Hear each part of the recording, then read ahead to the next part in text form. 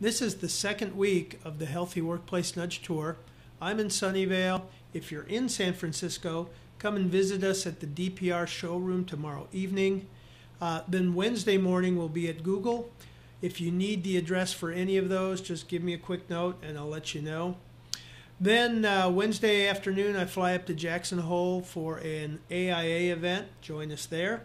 Then over the weekend, I fly to Newport Beach for some work there and then back to Dallas so that Thursday evening, the 27th, we'll have another workshop and, and presentation at the Haworth showroom.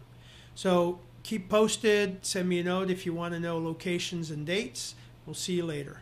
Take care.